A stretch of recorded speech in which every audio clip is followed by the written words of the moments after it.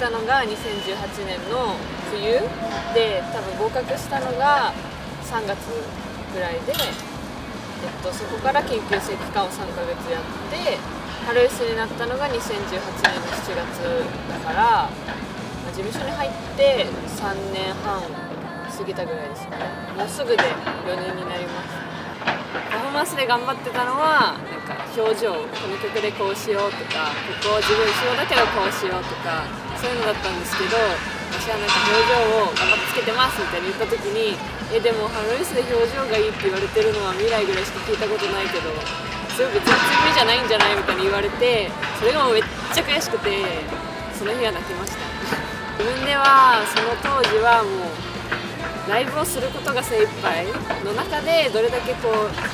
人にこう見せる顔を作れるかっていうのを研究しながらその平日の練習とか週末たくさんやらせてもらってるライブとかをやってる段階だったのでその時はちょっと一瞬心が折れそうになりました。えでもめげずにやりたいことを続けてその他のメンバーの映像とか見てあこの人の曲かわいいから自分はこの時にこうしてみようとかまず真似するところから始めて、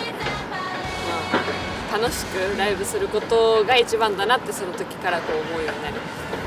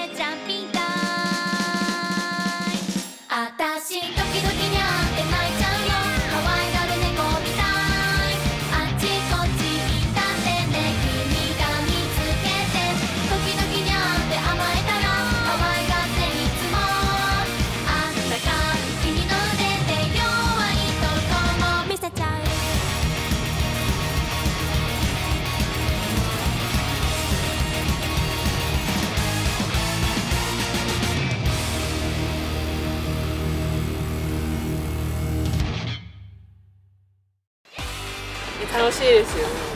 ライブが一番楽しい。研究生の頃はすごいなんかライバル意識じゃないけど葵とこう切磋琢磨しながら3ヶ月間やってきたっていう思い出があるんですけど最初葵がリなんかリーダー発表しますってあの大沼さんが言った時に私葵か未来かなって思ったんですよ。あのステージであ自分はもうないなって思いました自分はリーダーになることはないでもそれまで本当に自分がハロウィンスギッぱり自分がリーダーだと思ってやってきたんですよこの3年間はけど名前を付けるとしてリーダーってなるのは自分じゃないなっていうのはもう分かっててその今まで持ってきた気持ちを持ちつつ葵を支えたいなと思ったしお互い結構深い話もすることが多いのが葵なのでこう本当に信頼してるしお互いこう頼り合える存在だなって。思レイナはなんか結構ここまでこういじられキャラみたいななってるんですけど結構ハローエースに入ったの当初からあの自分の芯が強くて結構頑固なんですよ。そういうとこがなんか好きだなって思う。エマはあのエマは本当に一緒に仕事をすることが一番多くて佐賀にラジオに行ったりとか撮影に行ったりとかするの大体エマなんですけどエマはこう私たちが見えないところで努力してるんだろうなっていうのがひしひしと伝わる。なんかハローユースを歌とかで引っ張っていくぞっていう気持ちがめっちゃ伝わるしエマもすごいこだわりが私と一緒で強いと思うからそのこだわりをちゃんとメンバーにこうぶつけてきてくれるところがあさすがセンターだなってルイスは青春コンセプトにしてるけど本当になんか青春だなって思うこう二十歳でアイドルになって大体青春ってなんかこう中高生の間のこと言いがちですけど泣くし笑うしめっちゃこうバカなこともするしお客さんとこうライブで対面してこう表現し合ったりそういうのをしてるとこう家に帰ってふってした時に今日も青春だったなって思うことがあるんですよ。それをもう永遠に続けたいです。なんかこう一つのまとまりがありつつみんな違う個性を放つ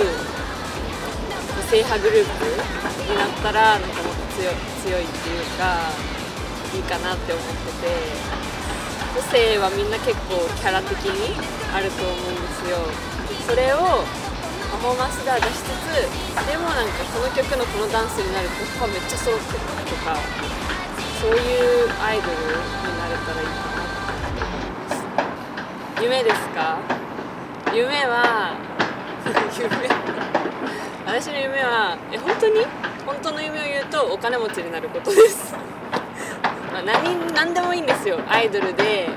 めっちゃライブで例えば武道館とかあとまあもしこう何年後かにアイドルを卒業したとしても何かでこうずっと自分で頑張っていきたいんですよ。人に頼らず自分で頑張ってすごく自立した一人の素敵な女性として生きていきたいのでそれをまとめて言うと金持ちになりたいです。足りないところあの自分をなんかあんま制御できないから自分をこう制御しつつでも表現しするしなきゃいけない時とかしたい時には伝えれる人になりたいです。まあライブだったらもちろんその楽しい気持ちとかその曲で自分たちが思ってること。みんなに感謝を届けつつ活動してきたい触ってますかね？でもなんか改めてありがとうってこうツイッターとかに書いてもこ